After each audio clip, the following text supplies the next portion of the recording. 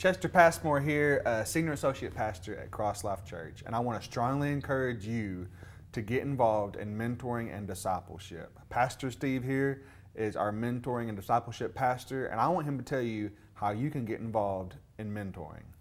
Mentoring and discipleship, I believe, is the backbone of the church.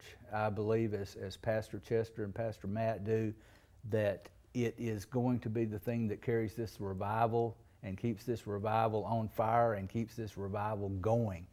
Uh, we're starting to see the numbers of 50 and 100 being saved.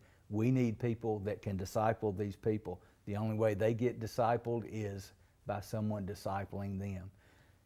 You need to be a part of discipleship and mentorship here at Cross Life Church. Contact me or any of the pastors. It's, it's a biblical principle, it works, and uh, we see it working already in six months. Please be a part of it. That's right. Don't hesitate. Uh, now is the best time for you to get involved.